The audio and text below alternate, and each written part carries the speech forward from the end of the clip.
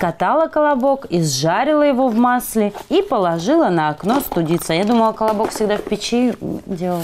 Полина с мужем решили однажды завести второго ребенка, но на обследовании узнали, что будет двойня. Анечка родилась через пять минут после Максима. Женщина счастлива, всегда хотела много детей. И она, и муж выросли в больших семьях. Но вот сначала к радости примешалась и тревога. Было какое-то а, опасение в плане того, что ну, на наши мизерные декретные как можно прожить э, с тремя детьми.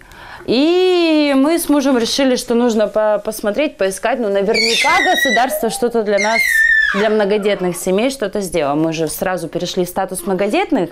И нашли. Одним из бонусов многодетности оказался краевой материнский капитал. В отличие от федерального, его выдают при рождении третьего ребенка. После недавней индексации сумма выплаты почти 137 тысяч рублей. Не лишние деньги для большой семьи. Вот только закон, по которому их выдают, действует лишь до конца этого года.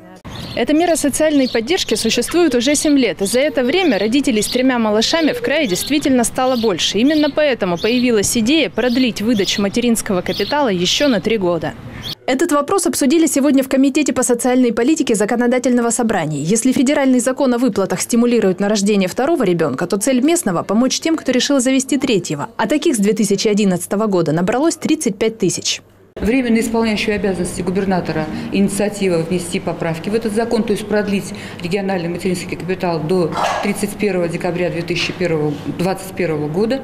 И мы поддерживаем это двумя руками. Когда появляется второй ребенок, это уже четыре человека и один работающий. Когда третий ребенок появляется, это уже пять человек на одной зарплате. И вот в совокупности с федеральным материнским капиталом это, конечно, очень хорошее подспорье, особенно в части решения улучшения жилищных условий, потому что вместе размер федерального и краевого материнского капитала составляет 590 тысяч рублей. Это очень существенная поддержка семей.